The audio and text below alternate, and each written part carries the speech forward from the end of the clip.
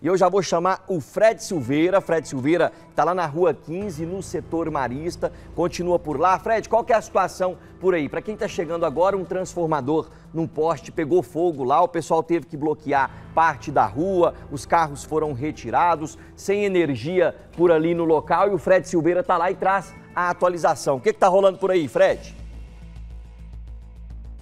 Pois é, Branquinho, o trânsito acabou de ser liberado aqui na T9 cruzando com a 15. A gente está com imagens, inclusive, do nosso drone, o Falcão, mostrando a situação do trânsito nesse instante. Estava um pouco pesado, começa a aliviar um pouco, mas mesmo assim a gente percebe que, pelo menos para quem vem na 15, o volume de carros ainda é um pouco maior. Mas a informação é boa, a notícia é boa. Nosso drone nesse momento mostrando aí como está o trânsito da Rua 15, descendo aqui em sentido a T9, cruzando com a T9. Então, trânsito liberado e nesse instante o pessoal da Equatorial acabou de me informar que não há uma previsão para que a energia seja restabelecida aqui no local. Já que uma equipe está vindo para cá, era necessário, segundo eles, que o trânsito fosse liberado para que o caminhão chegasse aqui. Até porque eles disseram que até na parte de trás ali, chegando próximo daqueles predinhos ali no Marista, o trânsito estava pesado. Então, eles esperavam que o trânsito fosse liberado para que o caminhão chegasse aqui. Como o trânsito agora foi liberado, a expectativa é que o caminhão chegue o quanto antes para que esse, a energia desta região seja restabelecida.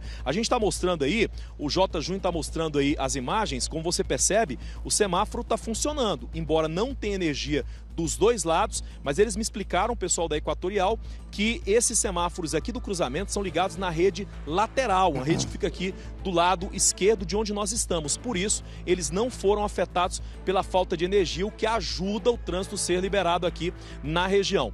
O motorista um pouco sem paciência, esperou um pouco, só que agora o trânsito liberado e, por enquanto, sem previsão de que, de que a energia volte aqui nessa região, que é uma região de muito comércio, mas também tem muito prédio. Branquinho? Isso mesmo, ao vivo de todo lado, do lado, do lado esquerdo aí, a equipe de Fred Silveira, Fred Silveira e J Júnior ao vivo pelo chão. Do lado direito aí você vê o Falcão Alerta pelo alto. Estamos mostrando imagens da Avenida T9, o trânsito que por ali faz um giro na T9, por favor ali, saindo ali próximo da 15 também, mutirão. O trânsito que por ali já é pesado, pessoal, são 6 horas e 26 minutos. Agora está mais ainda por conta desse bloqueio que ficou um bom tempo ali na 15, a 15 que é uma via que dá acesso a várias regiões, uma via muito movimentada, para quem sai ali, que não vai... Oh, o pessoal da moto tá na calçada aí, né, Dudu? Para quem vai... Cuidado, ó o povo do Pão de Ônibus ali, orelha seca.